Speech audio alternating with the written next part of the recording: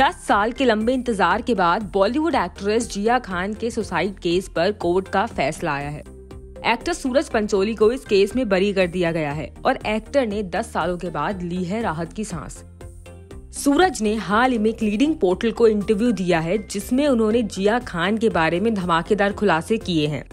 उन्होंने कहा मैंने उसे फेसबुक पर फ्रेंड रिक्वेस्ट भेजी थी। वो सुंदर लड़की थी और जिन्होंने फ़िल्में की थी। उन्होंने एक साल बाद मुझे जवाब दिया और हम दोस्त बन गए। मैं जिया के साथ सिर्फ़ पाँच महीने की ही रिलेशनशिप में रहा। मुझे नहीं पता था कि वो किस दर्द से गुजर रही हैं।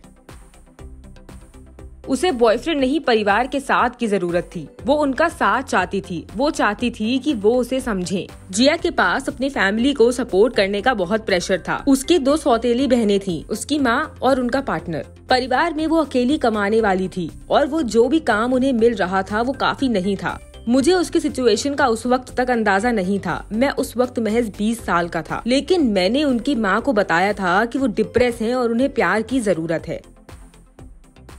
उस वक्त मेंटल हेल्थ के बारे में कोई बात नहीं करता था। उसके पास कोई इमोशनल सपोर्ट नहीं था। उसके पास सिर्फ़ मैं था। जब मैं शुरू में जिया खान से मिला तो उस वक्त हम रिश्ते में भी नहीं थे। उस वक्त भी उन्होंने अपना हाथ काट कर मरने की कोशिश की थी।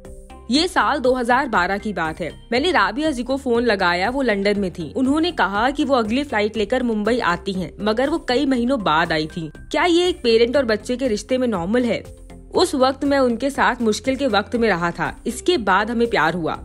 वो एक खूबसूरत इंसान थी, लेकिन मेरे अकेले का प्यार उनके लिए काफ़ी नहीं था। उसे परिवार के प्यार की ज़रूरत थी। मैं कोर्ट में बहुत कुछ कह सकता था, लेकिन मैं ऐसा नहीं किया, क्योंकि मैं परिवार को शांति में रखना चाहता था। लेकिन सिर्फ़ मुझे दोष देने से कुछ नहीं होगा।